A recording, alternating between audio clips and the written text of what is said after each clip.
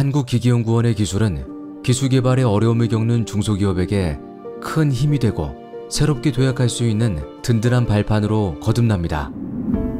휴고 다이나믹스는 한국기계연구원의 로봇 의족 기술을 상용화하기 위해서 미르 시스템즈와 한국기계연구원이 공동으로 2018년에 설립한 연구소 기업입니다.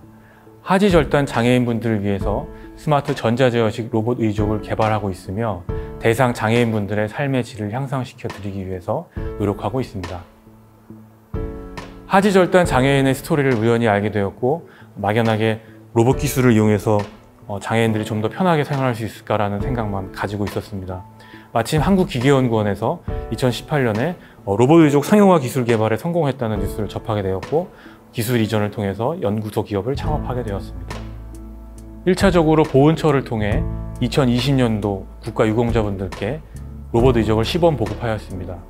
올 하반기부터는 일반 장애인분들을 대상으로 시장에 진출할 계획을 가지고 있으며 또한 국제 표준 기술 인증을 통해서 글로벌 시장으로의 진출도 계획하고 있습니다.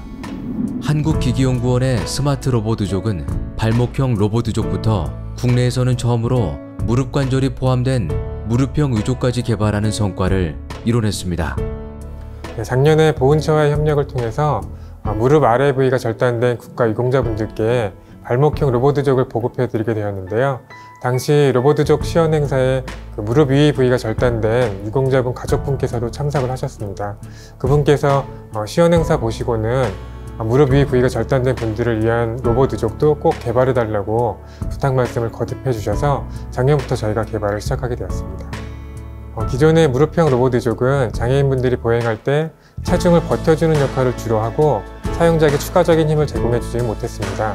어, 저희가 개발하는 무릎형 로봇 의족은 체중을 버티는 역할뿐 아니라 필요한 순간에 무릎 관절에서 추가적인 힘을 내주는 것이 장점입니다. 특히 어, 경사로나 계단 환경에서 착용자분이 보다 자연스럽고 편하게 오르내리는 것이 가능합니다.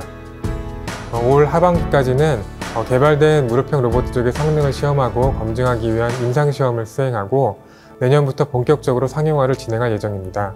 성공적으로 무릎형 로봇족이 개발된다면 이전에 개발한 발목형 로봇족과 무릎형 로봇족을 결합해서 발목과 무릎 관절을 동시에 유기적으로 움직일 수 있는 제품을 개발하고자 합니다. 우리의 기술은 때로 기적을 현실로 만드는 마술을 부리기도 하고 사람을 닮은 따뜻함으로 새로운 삶을 선물하기도 합니다. 사회적 가치 실현을 위한 따뜻한 로봇 기술 개발, 사람과 로봇이 공존하는 미래, 모두가 행복한 더 나은 내일이 가까이 다가오고 있습니다.